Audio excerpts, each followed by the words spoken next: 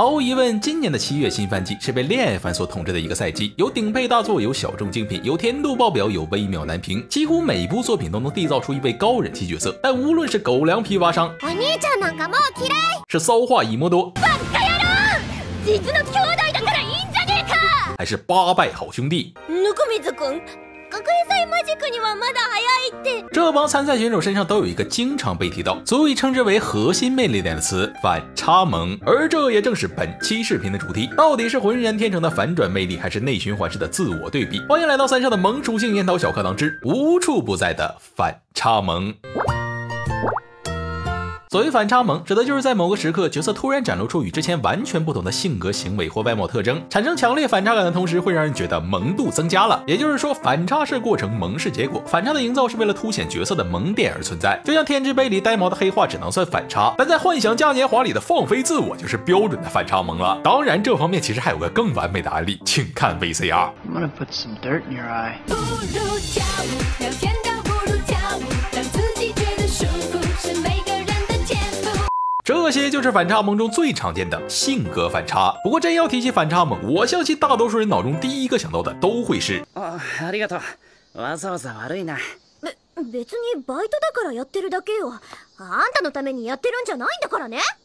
哇，天不得，天不得！傲娇，这项经过一代又一代观众层层严选的经典萌属性，绝对当得起是反差萌的最佳代表。以三分傲七分娇的配比为黄金比例，轻易不出手，一出手就是最无解的全场通杀。这一分级的杰出参赛选手实在是数不胜数。老番就不多提，就说近几年的新番里，也有着诸如辉夜大小姐类的四宫辉夜，恋爱超人里最早登场负责新手教程的怨田唐音，Love Live 星团里的大王剧组成平安明镜，异世界舅舅里总是被全场迫害的。大舅妈精灵，每一个在当季新番里都有着不俗的人气。由傲娇所衍生出的诸多萌属性也同样建立在反差萌之上。其他萌属性里也有三无腹黑、天然黑、高攻地防等等一大堆反差萌界的优秀选手。而除了这种固有性格赋予的反差和外部推动带来的反差，还有一种就是自身故意隐藏起真实性格，面对不同的人时表现出极为明显的待遇反差。没错，咱说的就是这位奇女子。当艾丽已经大实力，当老八只能做兄弟，当七桑已经成人气，到头来大赢特赢的只有我们的。周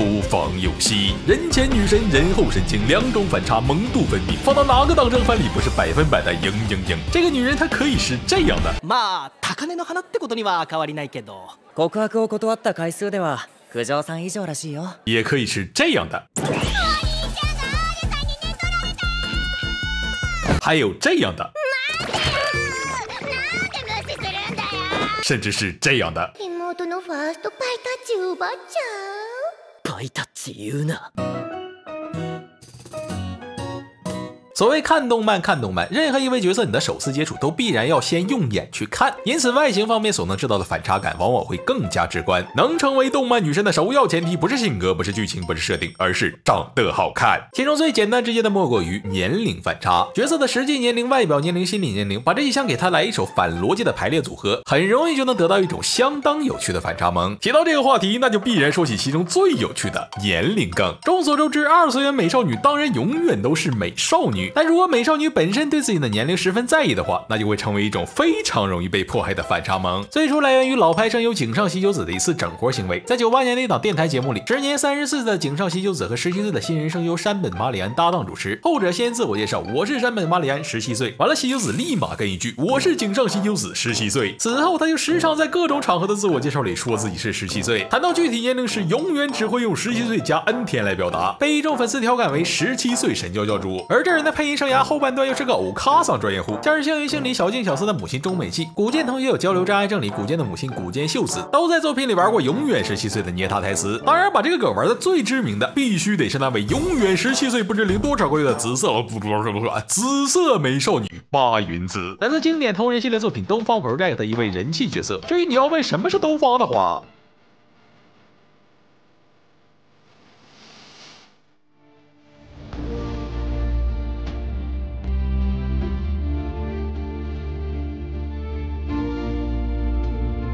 时代的眼泪了，属于是。说起来，八云子的年龄梗其实源于同人二社，不过毕竟是东方嘛，同人才是其精髓所在。甚至其他作品出现此类大龄女角色时，多少都会带一点紫妈式的年龄梗。就像 F J O 里同样也是紫色的凯尔特英灵斯卡哈斯卡蒂，无论是官方剧情还是民间梗图，提到师匠基本都少不了满满的年龄迫害。天下间竟然有十七八岁的老太婆。而如果把组合换成年龄小加外表成熟的话，那就更是无需多言，不如直接上案例。像是《更衣人偶坠入爱河》里的钱新寿。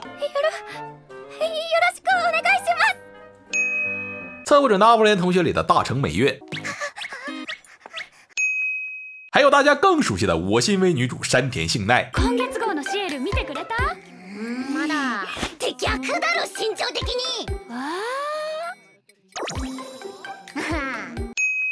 而有些角色明明年龄小，却表现得很成熟，很会照顾人，比起后辈或妹妹更像是妈妈。而在某些时刻又会表现出符合年龄的行为举止，算得上是一种双重意义的反差萌。就像《青音少女》里平泽姐妹中的妹妹平泽优，大概是最早的节相妹妹相妈的倒反天罡了。クリーニングのタグつきっぱなしああ本当だそれにここんとこ寝癖ってるよ時間がなかったんだよ 明日からもうちょっと早く起きようね。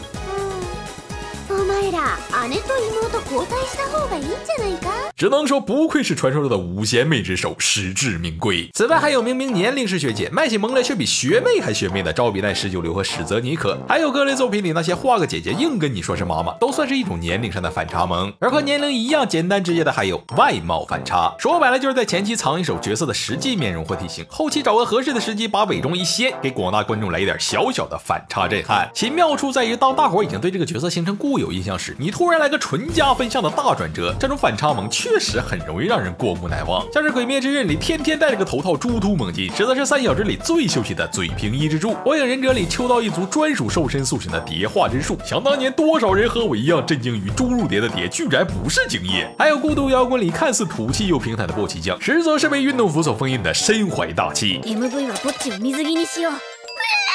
今のバンドは動画サイトの再生数こそ正義。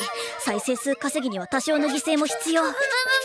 这里面进不得是大胸大胸啊！我就是喜欢大胸进除此之外，还得有一项必不可少的性别反差。毕竟伪娘、伪郎以及衍生出来的 TS，永远都是业界最提神醒脑的元素之一，总会让大伙在我不是那种人和那不是更好了吗之间反复横跳，要人老命。像是名作之 B I S 里女扮男装的法国妹子夏洛特，别当欧尼酱里被妹妹养成了妹妹的旭山真寻，春雾里差点就把大老师掰弯的护种彩家，爱玲玲那只公猫娘骑士菲利克斯，还有我个人印象最深刻的命运石之门里被轮太郎反复吟唱过无。数遍的小南梁七元流华。漆原ルカ、声も仕草も女にしか見えない。いや、女より女らしい美少女。だが男だ。まゆりより背は高いが、体つきはとても細い。だが男だ。巫女服が似合っている。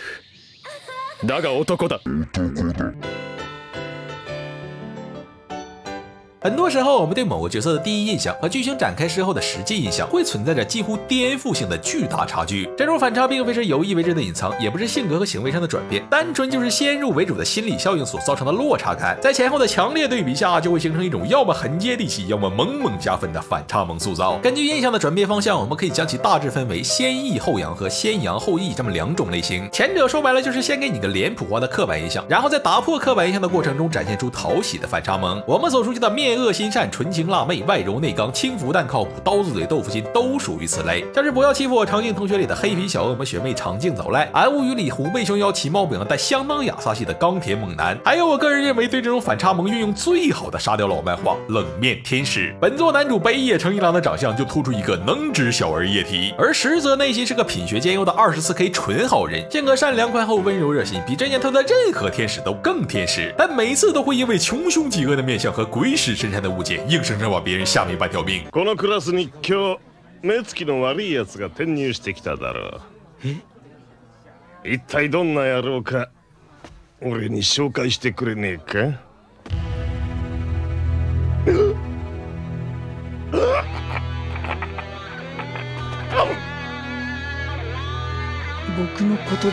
总之就是这种全程爆笑的奇妙反差萌，非常建议没看过的朋友来尝试一番。而至于后者人类先扬后抑的反差，其实就是那种咱们早就聊过的特别萌属性——残念系，一种靠做减法得来的奇妙反差萌。有时候在一些外表优秀的角色身上，适当增加一些毁形象的缺点与槽点，反倒会形成 A 减 B 等于 C 但大于 A 的神奇效果。也就是我们常说的“好好的妹子怎么长了个嘴”。具体的大伙可以看看在下之前的那期残念系专题，其杰出代表有素晴里那位改变业界的智障女神阿库亚，在莽将里人气断档式领先的外星怪马黄金船，约会大作战里顶着三五脸疯狂甩卖节操的折纸大师，还有每次都会提到但每次素材都是常看常新的高桥李依。这次咱就来看一个厨娘特辑。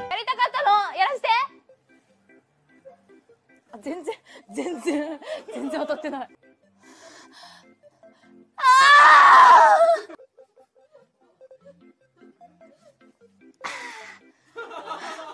总的来说，无论你回看业界的哪个时代，反差萌永远都会与最具统治力的萌属性一直常在，是最好用、最泛用，也是上限最高的角色塑造方法之一。无论你想要的是笑点、卖点、萌点、槽点，还是任何一点，反差萌的表现力什么都做得到。即使随着版本变迁，业界会经历不同的版本答案，但你把角色的内核一拆开，就会发现八成以上的驱动核心还是反差萌这项业界最佳通解。它还会为观众带来多少惊喜，值得我们为它拭目以待。